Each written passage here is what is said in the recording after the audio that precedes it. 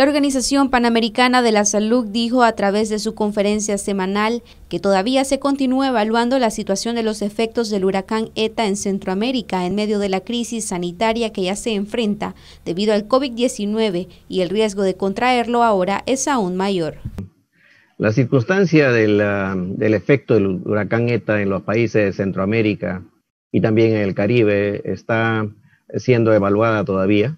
Sin embargo, se han reportado eh, centenares de fallecidos, desaparecidos, eh, daños a la infraestructura, entre ellos infraestructura de salud, eh, y hay miles de personas en albergues.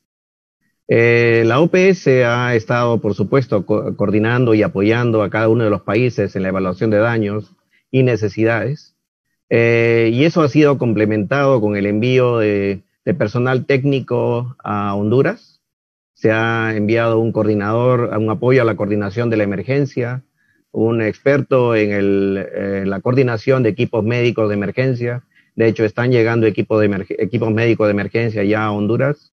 A San Pedro Sula era el primer equipo que estaba eh, a punto de llegar.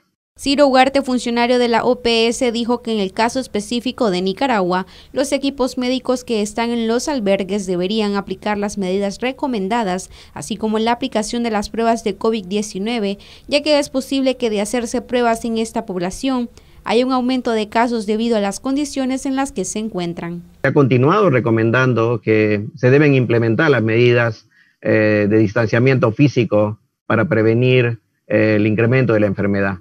Las personas se encuentran en albergues principalmente y aquellas que eh, están movilizándose para brindar asistencia. Eh, y los equipos de salud que también están eh, revisando los daños y, están mm, proveyendo atención médica a la población. Nuestra recomendación en los países afectados en general es aplicar las medidas de distancia que, que hemos mencionado un metro, un metro y medio de distancia, el uso de mascarillas, la desinfección de las manos.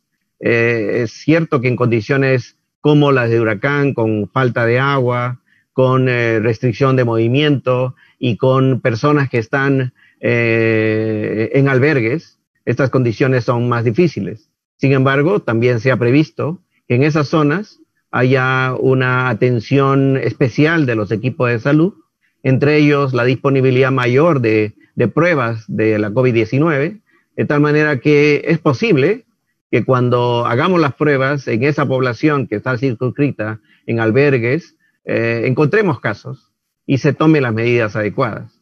Entonces, no significará que, necesariamente es, por el huracán, sino que la enfermedad tiene su curso natural que, cuyo riesgo se incrementa en condiciones como las, eh, las que he mencionado.